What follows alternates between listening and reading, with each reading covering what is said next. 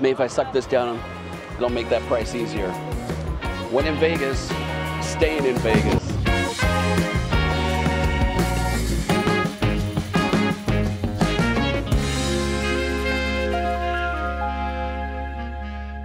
Welcome back, everybody. It's Jeff again with J&K Stay in Vegas. In this updated 2024 tour of Caesars Palace, we have the best rooms that you can get of the Bellagio fountains. There are a whole bunch of properties that surround the Bellagio fountains, but we're going to see which rooms that you can get with a fountain view and a strip view and how much that costs. We're going to check out the casino and restaurants, the fitness center. We're going to check out the pools. There's seven of them. And of course, give you a detailed room tour. So why don't you come with me? Check all that out. And at the very end, I'll tell you how much I paid for this particular room and the pros and cons that I think there are in 2024 here at Caesars Palace. All right, let's get into this video. It's to be fun. It's to be jam packed, and I can't wait for you to see it. All right, let's go.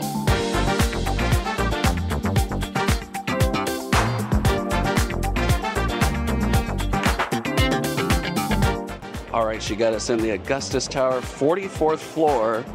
Let's see how this Bellagio fountain view is here at Caesars Palace. Augustus Tower is down here, past the Starbucks. If you watched our Where's My Coffee, Where's My Room, you'll know that. So this is not our elevators. We have to go to 44th. So 36 to 45, here we go. 44. Give me two different kinds of uh, key cards here. One Mr. Chow and Peter Luger.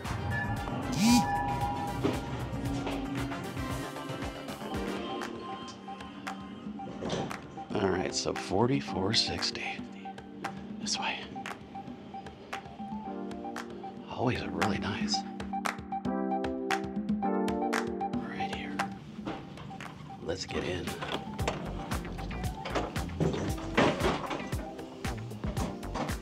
This looks really nice on first inspection. Oh yeah, I see something there.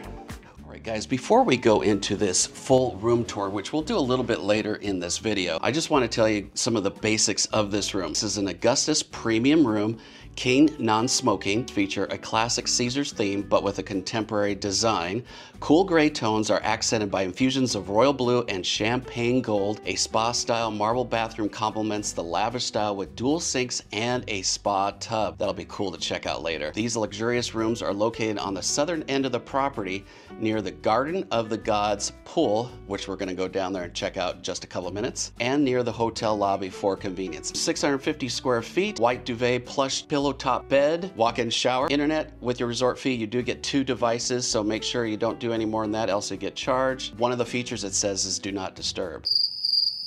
That's just the gist. Let's get downstairs, go check out the pool. It's absolutely huge. I have actually never seen it in person, so I'm actually excited to go down there and check it out. So let me change into my swim gear right about now.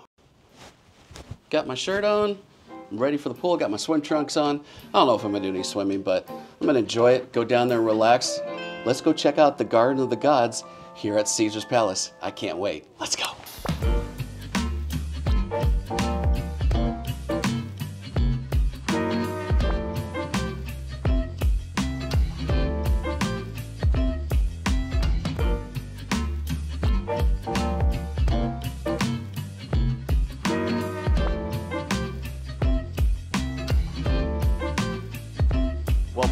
Here at Caesar's Palace, there are seven total pools, five swim-up blackjack tables, 48 cabanas, and 65 day beds.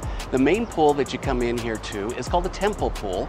There's also the Jupiter Pool, the Apollo Pool, and a few others. Look at this gorgeous spot here at Caesar's Palace. I'm just in awe. Walked by this so many times on our live streams and I actually get to experience it. Pool is open, by the way, from 9 a.m. to 5 p.m. daily. So if you do get here late in the afternoon after checking in, probably not gonna make it. So hopefully you're staying a couple of days, else you're gonna have to get up bright early in the morning before checkout. I really wish some of the pools were open a little later, especially during the summer. Check out the pools here at Caesar's Palace. You're not gonna be disappointed.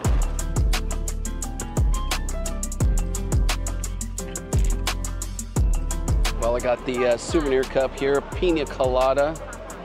When in Rome, pun intended. $43. Maybe if I suck this down, it'll make that price easier. When in Vegas, staying in Vegas, drink is empty. I got every last drop for 43 bucks.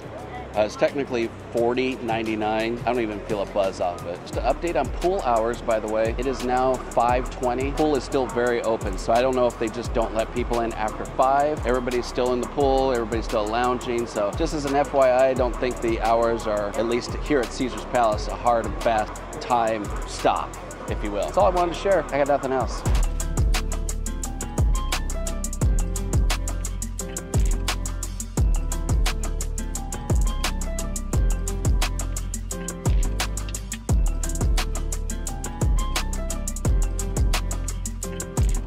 Well, guys, there's so many restaurants and so many things to see here on the casino floor.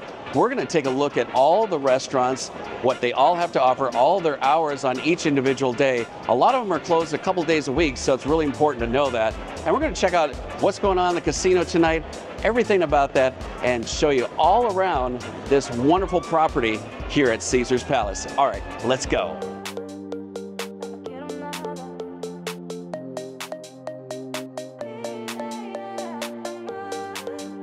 So the Bacchanal Buffet, guys, is open from 9 a.m. to 10 p.m. every day, except for Tuesday and Wednesday. It's open at 3.30 in the afternoon. So keep that in mind if you're doing a midweek stay. They don't open until 3.30 on Tuesday and Wednesday. All right, let's keep going. Pronto by Giada is open 6 a.m. to midnight. One of the new places that have just opened is the Peter Luger Steakhouse.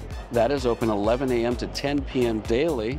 But on Mondays and Tuesdays, they're only open from 5 p.m. to 10 p.m. Next up is Mr. Chow. They are closed on Sundays and Mondays, but they're open from Tuesday through Saturday, 5 to 10 p.m. It'll overlook all of the pools here at Caesar's Palace. Speaking of pools, that is down there. You saw that earlier.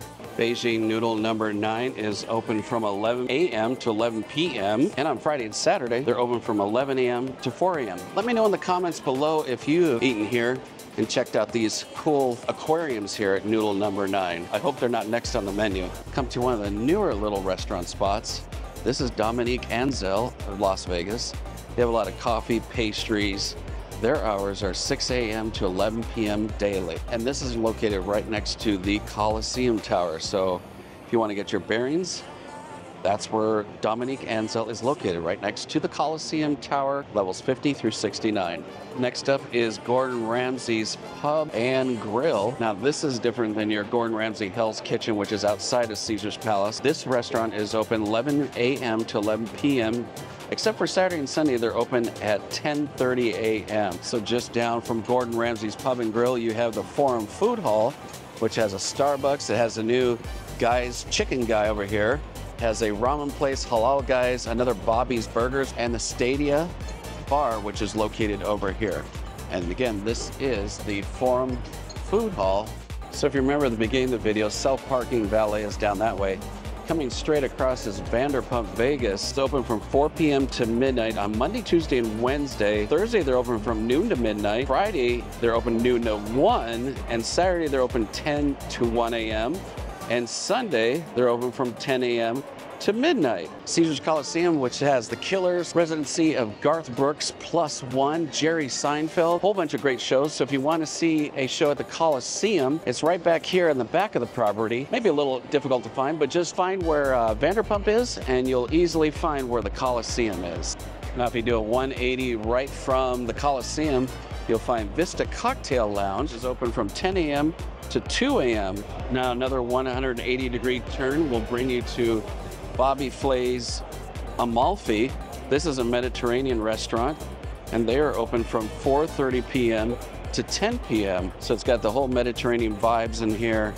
Definitely check that out. And if you're a poker player, the poker room is right next to Amalfi, right over there. And next to this is the sports book here at Caesar's Palace get your betting on, you can do that over here. And next to that is Omnia Nightclub. Omnia Nightclub is open from 10.30 p.m. to 4 a.m. Sunday, Tuesday, Thursday, Friday, and Saturday. They are closed on Mondays and Wednesdays. Want to get your dance nightlife on? Check out Omnia. Next up is Stanton Social Prime from Chef Chris Santos. I guess three dollar signs, so you can probably guess about how expensive it is. But their hours are 5 p.m. to 10:30 p.m. daily, except on Friday and Saturday, they're open till 11.30 p.m. Guy Savoy's Brioche, where you can get some coffee, some pastries as well. They're open every day from noon to midnight. So if you want to get your coffee on, you can get it here. Nobu is right over here. So it encompasses an entire U over here.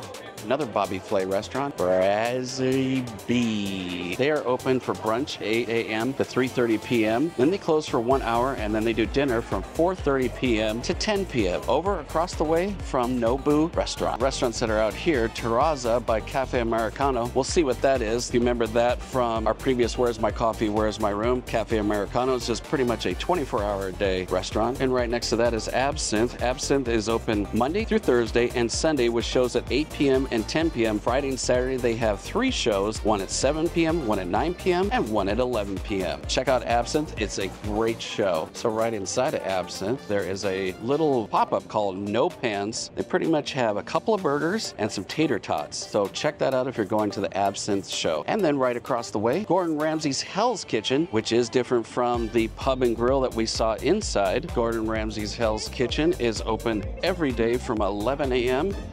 to 11:30 p.m. And Gordon welcomes you right as soon as you walk in there. Turn around from Gordon Ramsay's Hell's Kitchen, you will find the four face Brahma. If you want to know all about that, check out our Hidden Gems video on our channel. Let's go see where the gym is.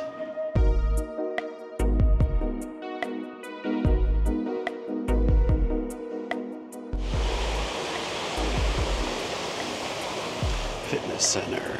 That's what we want.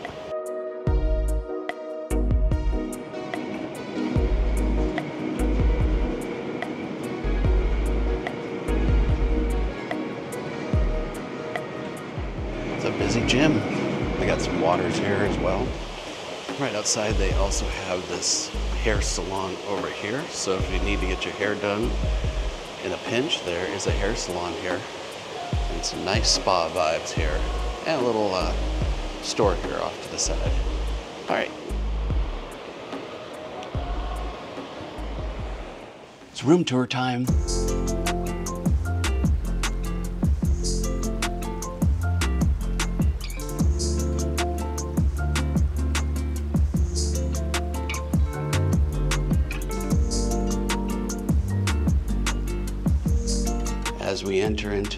Beautiful king room in the Augustus Tower, 4460, 44th floor, overlooking the Bellagio fountains. Take a look at the bathroom in just a second.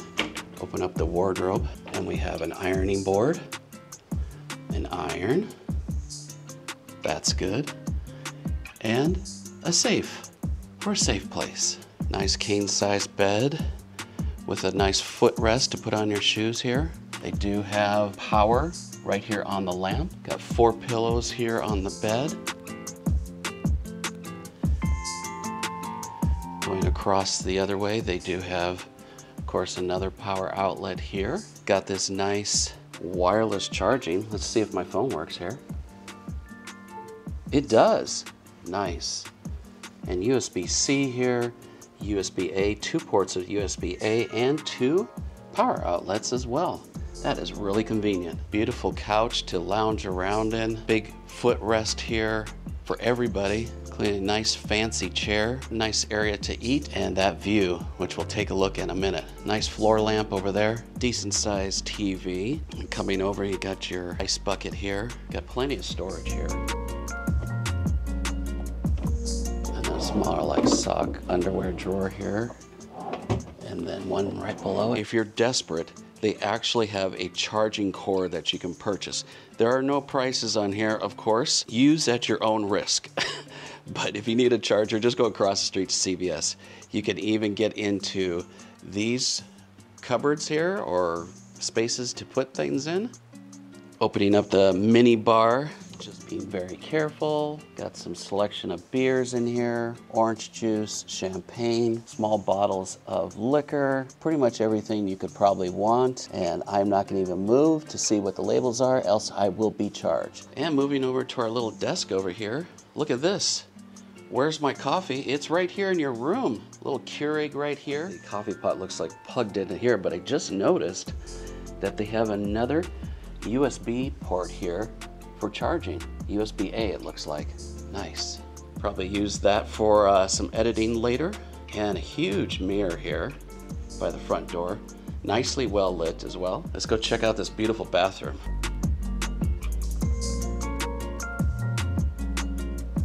A nice walk-in shower. You don't just get a tub, you get a jacuzzi tub with this room. Huge mirror above the jacuzzi tub. And then you have wonderful double sinks here, washcloth on each side, a couple of glasses, some body wash, conditioner, shampoo, and a little makeup mirror here. And then the turlet room. Nice tiled floor, marble, or whatever it may be.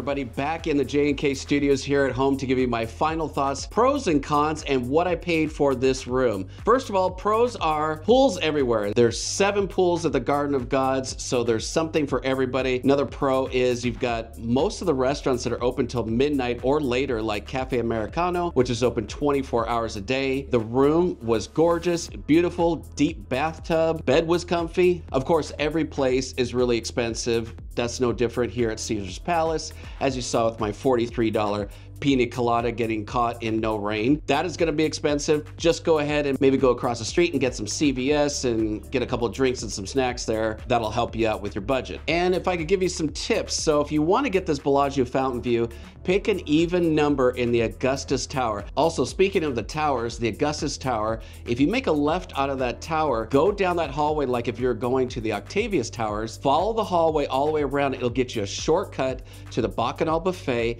and to the Garden of Gods pools instead of going all the way around through the casino. So that brings me to what did I pay for this room? Well, initially the room was $85 a night plus $56.63 in resort fees. I kid you not. Then there's the tax on the room for $11.37. Now, in order to get the really high top view, that 44th floor, I did pay for an upgrade. That was $113.38. So for a total of 268.38 for those views and that room. That's a highly upgraded room, 650 square feet. I think it was very much worth it. Let me know in the comments below if you think that's worth it and what your favorite part was of the video. I'd really like to know. Leave it in the comments below. These videos, J&K staying in Vegas, our little staycations are gonna be coming to you every week and maybe multiple times a week. So we're really expanding our channel here in 2024. Hope you're enjoying it. If you did, hit that thumbs up and subscribe to J&K Stay in Vegas for even more content content,